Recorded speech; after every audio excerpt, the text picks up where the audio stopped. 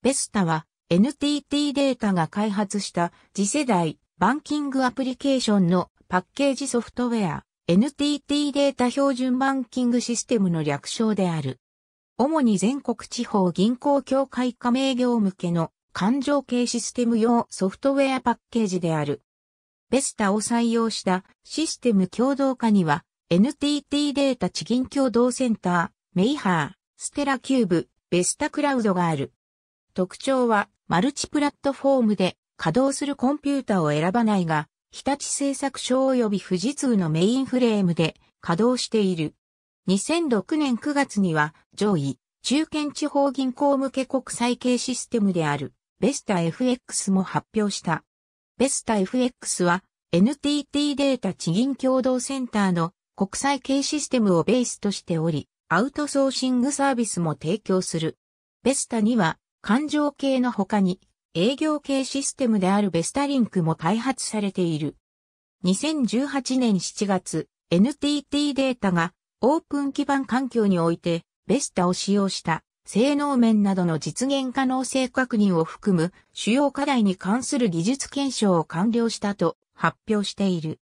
NTT データは2008年4月に足利銀行の地銀共同センターへの参加を発表した際にベスタ利用業は22業と発表した。この数には日立製作所から提供されているネクストペース採用業は数に含めていないと考えられる。Most Efficient Joint Advanced Regional Banking System 正式名称は NTT データ産業共同利用システム NTT データ地銀共同センターと横浜銀行、北陸銀行、北海道銀行の共同開発。産業とも従前は富士通メインフレームだったこともあり、同社メインフレームで稼働している。2016年1月には富士通メインフレームの勘定系システムを独自に採用していた77銀行がメイハーに移行。また、2019年1月、横浜銀行と同じ持ち株会社の参加に入った東日本銀行もメイハーに移行した。第二地銀の利用は東日本銀行が初。NTT データが1997年5月より運用している環状系パッケージスターシリーズの一つ、スターエースの後継システムとして2008年3月19日に発表。翌年、名称を NTT データ機関系共同センターと発表した。フィデアホールディングスなどを対象に、新たにクラウドシステムにて開発された環状系システム。開発発表当時、NTT データ地銀共同センターを利用していた省内銀行の原稿内容の移行しやすさなどから、日立製作所によるメインフレームで構築された。2014年3月17日に、商銀が移行。同5月7日、北斗銀行も移行した。このほか、2016年5月2日には、青空銀行もリプレイスしている。